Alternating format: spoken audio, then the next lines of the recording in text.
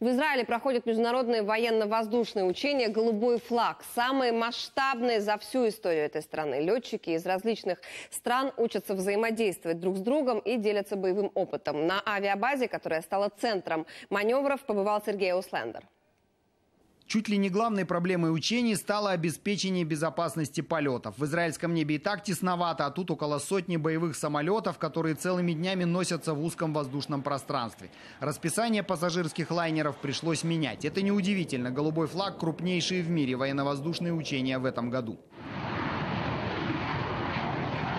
Летчики из восьми стран участвуют в маневрах. Еврофайтеры и фальконы, иглы и миражи, торнадо и тайфуны прикрывают друг друга в учебных боях. У израильтян особая роль. Они плохие парни, вероятный противник. Для этого у ВВС есть красная эскадрилья. Ее летчики детально изучают тактику врага, чтобы потом воспроизводить ее в воздухе.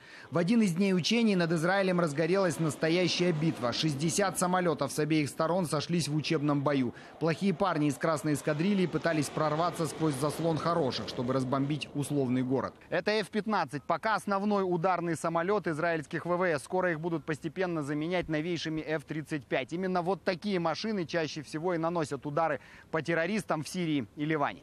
Опыт операции в Сирии тоже пригодился. Одна из учебных задач – прорыв вражеской ПВО. Израильтяне это делают регулярно. А вот полякам или итальянцам такой опыт приобрести просто негде.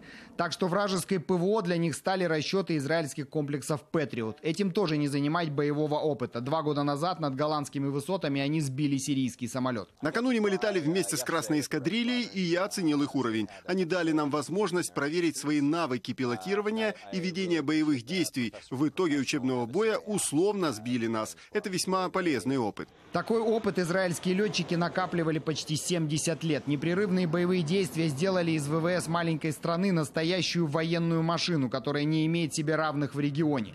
Учение «Голубой флаг» – уникальный шанс для пилотов других стран перенять этот опыт, причем без потерь.